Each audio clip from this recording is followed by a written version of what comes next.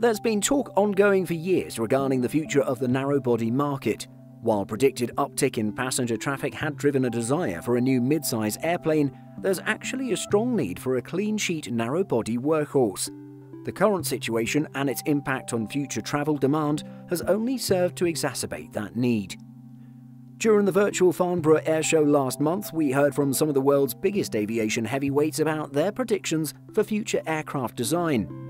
Steve Udvar-Hazy, current CEO of Air Lease Corporation, ALC, and former CEO of International Lease Finance Corporation, ILFC, was joined by Sir Tim Clark, President of Emirates, in a discussion facilitated by Flight Global and Embraer.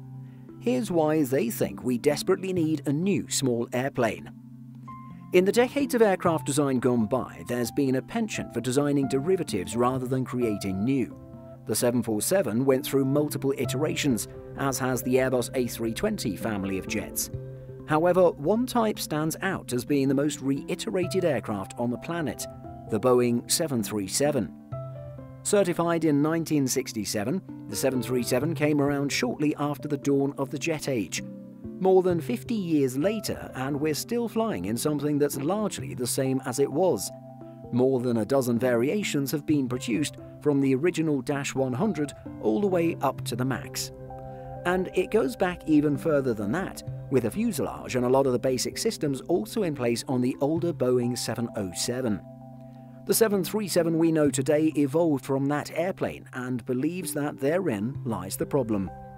The certification standards, design standards, and technology levels in the mid 60s were entirely different than what we're facing today and in the future.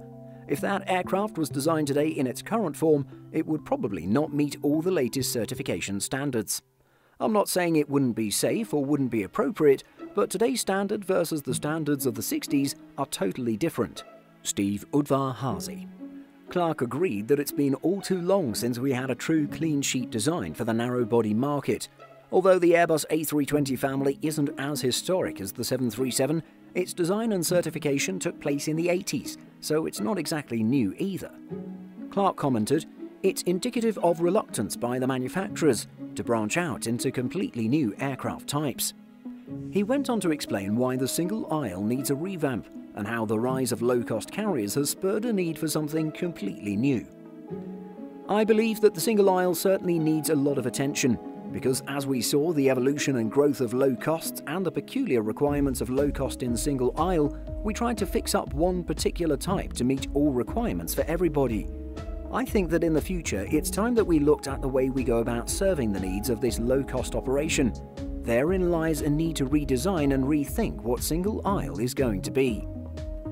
Clark went on to suggest that rather than aircraft manufacturers designing new planes in isolation, they should be working alongside low cost carriers to uncover what it is they actually want.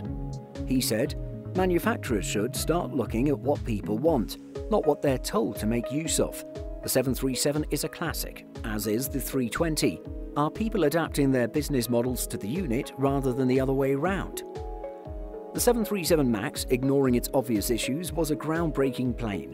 It pushed the boundaries of engine technology to the limit, delivering lower fuel burn and better economy than any small aircraft that had gone before.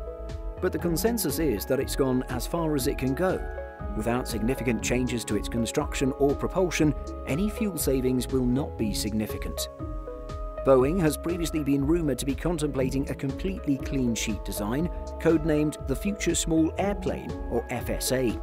It would employ some of the technology seen on airplanes like the Dreamliner, such as composite construction, to give us a narrow body that's fit for the future.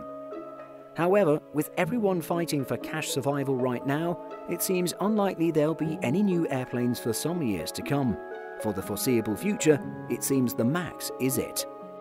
Would you like to see a new clean sheet narrow body aircraft? Let us know in the comments. Did you know that we publish over 175 stories every single week on simpleflying.com? Be sure to check the link in the description for more great stories just like this. Thanks for watching, and be sure to like and subscribe before you go.